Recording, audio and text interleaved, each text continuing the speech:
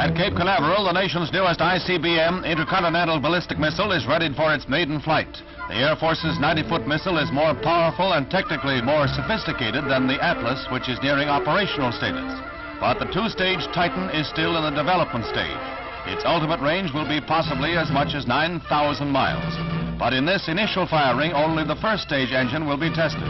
The second stage is essentially a dummy for proper balance. It's a test with limited objectives, and every precaution that can be taken is taken. The 110-ton missile will be held on the launching stand for six seconds following ignition to be sure that there is no initial misfire in the crucial first moments of flight. The vastly complex countdown nears completion, and the moment of truth is at hand for the Titan.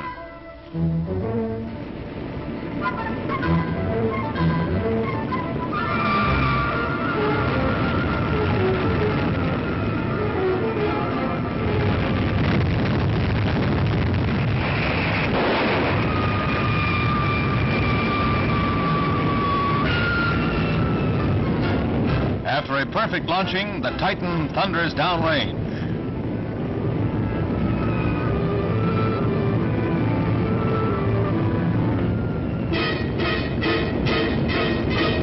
Estimates of its flight, a maximum altitude of 50 miles, a horizontal reach of perhaps 200 miles. Most important of all, buffeted though it was by 40 mile an hour gusts, the Titan never wavered in its flight. The mammoth engine with some 300,000 pounds of thrust never faltered.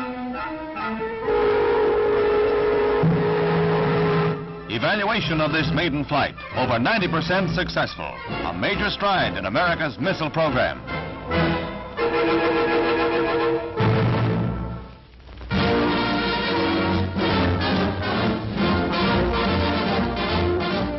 West Berlin's mayor, Willy Brandt, accompanied by Mrs. Brandt, arrives in Washington, D.C. in the course of a one-month tour of Canada, the United States, and Southeast Asia.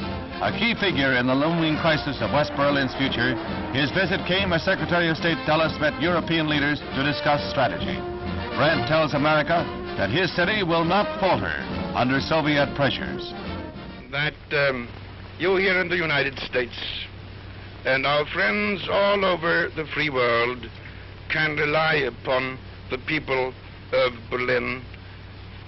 At the same time, the Berliners feel quite sure that they can rely upon their friends abroad. At Fort Myer, Virginia, last rites for crewmen of the unarmed American transport that was shot down last September when it strayed over Soviet territory. From the chapel, the coffins are borne to Arlington National Cemetery, where they will rest in honor. Six bodies were returned by Russia, which denies any knowledge of 11 others aboard the plane.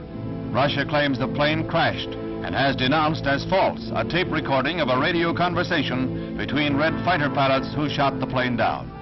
The last salute to these men sounds in grim discord against current Soviet talk of wanting peace.